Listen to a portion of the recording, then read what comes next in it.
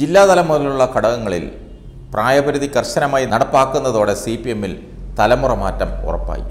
ഇരുപത്തിമൂന്നാം പാർട്ടി കോൺഗ്രസിന് മുന്നോടിയായുള്ള സമ്മേളനങ്ങൾ പൂർത്തിയാവുമ്പോൾ എഴുപത്തിയഞ്ച് വയസ്സ് പിന്നിട്ട നിരവധി നേതാക്കൾ ഉപരി കമ്മിറ്റിയിൽ നിന്ന് പുറത്താവും. സി പി എം നേതാവ് കോടിയേരി ബാലകൃഷ്ണൻ ഇക്കാര്യം സ്ഥിരീകരിച്ചു. വരുന്ന പത്താം തീയതി മുതൽ ജില്ലാ സമ്മേളനങ്ങൾ ആരംഭിക്കും. എല്ലാ ജില്ലാ സെക്രട്ടേറിയറ്റിലും ഒരു വനിതയെങ്കിലും ഉണ്ടാവണമെന്നതും നിർബന്ധമാക്കിയതായി കോടിയേരി പറഞ്ഞു.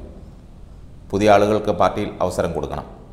പാർട്ടി ലെവി വർഷത്തിൽ നൽകുന്ന രീതി മാറ്റി മാസം തോറുമാക്കണം വരുമാനമനുസരിച്ച് ലെവി നൽകണം.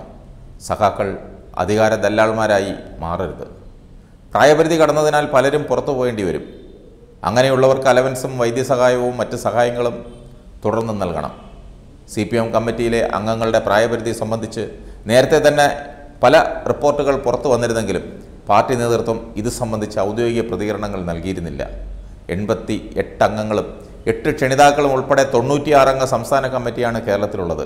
ഇതിൽ ഏകദേശം ഇരുപതോളം പേർ എഴുപത്തഞ്ച് വയസ്സ് പിന്നിട്ടവരാണ്.